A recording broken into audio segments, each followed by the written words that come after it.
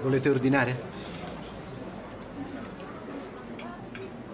E tu che pizza vuoi? Un Happy Meal.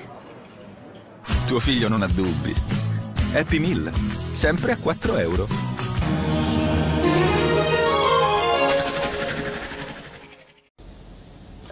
Grazie. E tu che cosa vuoi? Papà, ma che mi fa questa schifezza? Io voglio la pizza.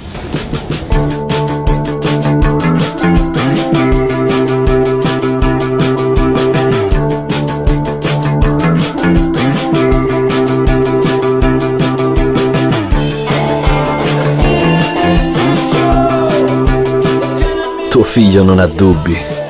Pizza a portafoglio. Un euro, un euro e cinquanta.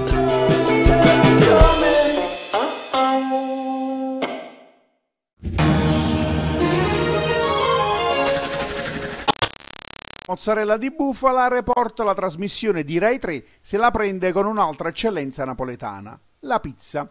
Secondo i giornalisti che hanno curato l'inchiesta, la specialità gastronomica più famosa al mondo rischia di diventare pericolosa per la salute a causa della cottura a legna e per la scarsa pulizia dei forni, che stando a quanto emerso nella trasmissione della Gabbanelli, sono risultati nella maggior parte dei casi incrostati da farina bruciata e anneriti da fumi non salutari. Appellato dalla trasmissione, l'ecotossicologo Perin dell'Università di Venezia ha spiegato che il prodotto della combustione del legno è cancerogeno e questi elementi nocivi possono essere assorbiti dalle pizze. I giornalisti di Reporto hanno visitato pizzerie di diverse città italiane, indagando anche sulle materie prime, sui contenitori da sporto e sul mercato delle pizze surgelate, che per fortuna non riguarda le pizzerie napoletane, anche se ultimamente, specialmente nel centro storico di Napoli, mangiare una vera pizza napoletana è diventata impresa ardua. Sarebbe ora che i pizzaioli, oltre a preoccuparsi della manutenzione dei forni a legna, tornassero a preoccuparsi anche dell'alimento pizza,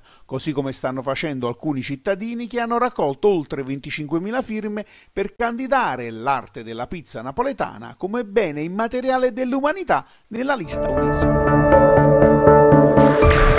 È bella pizza, ce la invidia tutto il mondo, guardate che bontà, vorrei morderla soprattutto a quest'ora, ma la pizza fa bene e fa male, quanta ne dovremmo mangiare e quale da preferire. Io ho preso la pizza bianca, anzitutto vorrei ringraziare la pizzeria Bonci che ci ha dato queste meraviglie, questa bontà di pizza bianca e le farine che vedete, il lievito madre soprattutto. Di pizza parleremo però con la dottoressa eh, Valentina Gagliazzo che ci darà, biologa, nutrizionista, che ci darà delle indicazioni gius- giuste su quale pizza mangiare e quando fa male, come sceglierla anche la Certo. pizza.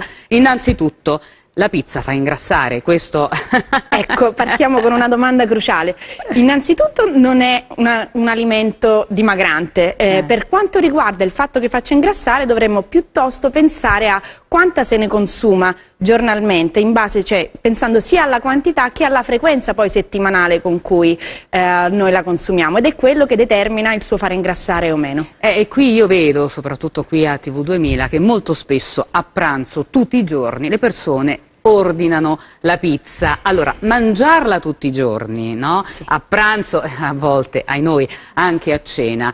ehm, come, già vedo la faccia della dottoressa che mi, anche lei deve- dovrebbe essere evitato. Esatto, sì, Eh. non dovrebbe essere consumata più volte al giorno e nemmeno tutti i giorni. Questo perché? Perché comunque la pizza è un alimento molto calorico.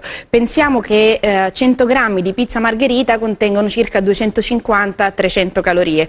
Una pizza media come questa, per esempio, invece pesa 300 grammi, quindi come apporto solo con una pizza del genere introduciamo 900 calorie, che sono davvero, davvero tante. Troppe. E se poi pensiamo che possono aumentare a seconda degli ulteriori condimenti che noi utilizziamo, per esempio eh, con l'aggiunta di salumi, di uova o di altri formaggi, possiamo arrivare anche a 1500, se non anche di più come apporto calorico. Quasi tutte date da carboidrati e poi dai grassi, ecco perché dovrebbe essere consumata non più di una volta alla settimana. Una volta alla settimana. eh, eh, allora parliamo anche delle proprietà. Perché Sì. insomma io ho detto è un alimento che ci invidia un po' tutto il mondo, Sì. tentano di imitarla, ma grazie a noi non ci riescono, solamente in Italia si mangia dell'ottima eh, pizza. Parliamo delle proprietà. Allora, eh, le proprietà, eh, innanzitutto distinguiamo, la pizza si compone di due parti, l'impasto e il condimento. Per quanto riguarda eh, l'impasto, eh, questo è fatto da, da farina soprattutto, quindi poi eh, olio, acqua e sale. Eh, come proprietà, la farina è la, migliore, la mm, più grande fonte di carboidrati e sono carboidrati complessi quelli che ritroviamo nella, nella pizza, che forniscono la maggior parte della nostra energia, del nostro carburante giornaliero. Eh, l'olio e la mozzarella poi che vengono utilizzati come condimento invece forniscono eh, dei grassi di origine vegetale piuttosto che eh, animale e sono anche tanto importanti perché contribuiscono proprio alla palatabilità, il gusto Eh, alla certo, nostra eh. eh, pizza. Poi il pomodoro. Eh, Poi eh, c'è il pomodoro, ovviamente, eh, che è una ricca fonte anche di polifenoli insieme no. all'olio.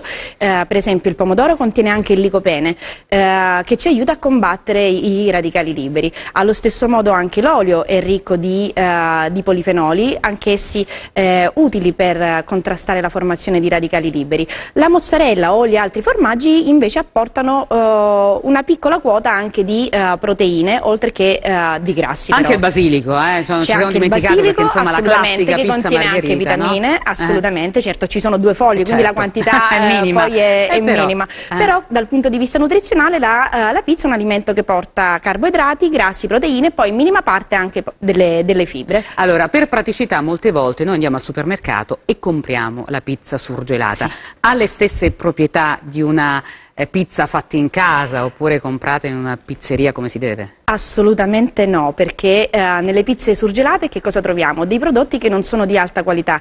In che senso? Spesso troviamo delle miscele di oli e non l'olio extravergine di oliva con cui invece dovrebbe essere fatta, oppure ancora la quantità di sale è troppo elevata, eh, nel senso che va a superare eh, la dose giornaliera consigliata, quella dei 6 grammi al giorno per, eh, per noi. Eh, così come anche i formaggi potrebbero essere di eh, dubbia qualità. Ecco perché la pizza eh, surgelata, se da un lato costituisce una soluzione veloce, invece dall'altro eh, ne paghiamo in qualità del prodotto stesso. Allora, noi il fine settimana di solito andiamo in pizzeria. Allora, quale pizza dovremmo preferire rispetto eh, ad altre pizze magari molto più eh, Farcite. gustose, farcite, eh, con tanti grassi e per non arrivare alle 1200-1300 calorie di cui ci parlava prima dottoressa? Allora, sicuramente eh, una pizza bianca, oppure una margherita, oppure una pizza bianca con le verdure. Queste rientrano tra le pizze più eh, dietetiche, diciamo con il più basso apporto calorico. Allora, parliamo delle farine. Sì. La, eh, qui è il nodo dolente, eh, secondo me. Allora, eh, ci sono vari tipi di farine. Eh, la farina di camut, farina integrale, farina, eh, ai noi, tanto raffinata a volte. Allora, Esatto. qual è la farina migliore per poter fare una pizza? Allora, eh, dobbiamo sempre cercare di capire bene che tipo di farina ci viene proposta, in che senso. Eh, spesso eh, in pizzeria si utilizza anche la, eh, una pizza al carbone vegetale. Ah. Eh, in questo caso dobbiamo essere ben informati e eh, sapere che il carbone vegetale in realtà è un colorante piuttosto che non un ingrediente vero e proprio.